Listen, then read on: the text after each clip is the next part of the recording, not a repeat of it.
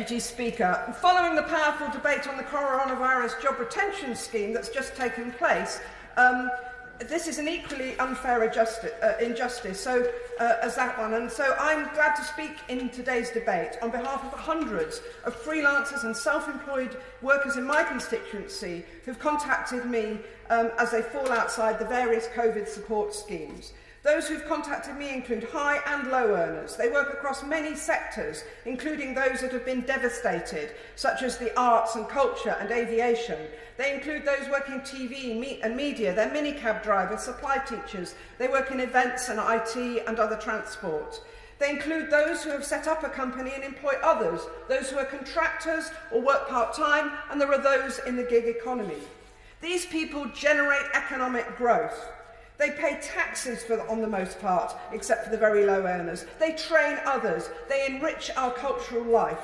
Um, and yet, despite the explosion of self employed and freelancers in the UK to around 3 million, too many government policies, tax uh, arrangements, and HMRC processes still see the world through the lens of PIYE and permanent workers.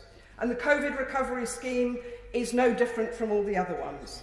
I think that that's why too many freelancers and self-employed taxpayers um, have fallen through this gap and fallen for the cultural block of the Treasury and HMRC. So despite many of us writing letters, many people sub submitting petitions, etc., the Treasury isn't listening.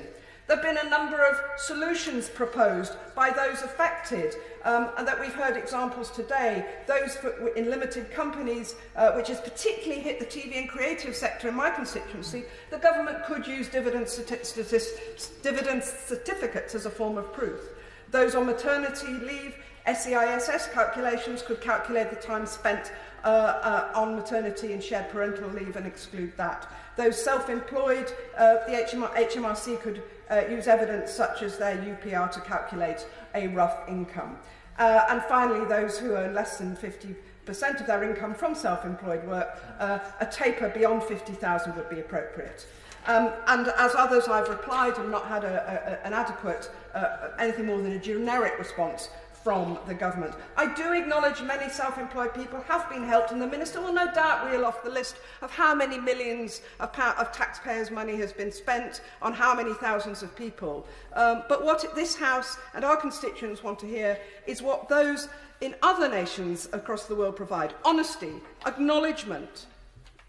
acknowledgement they're listening and where appropriate adaptation.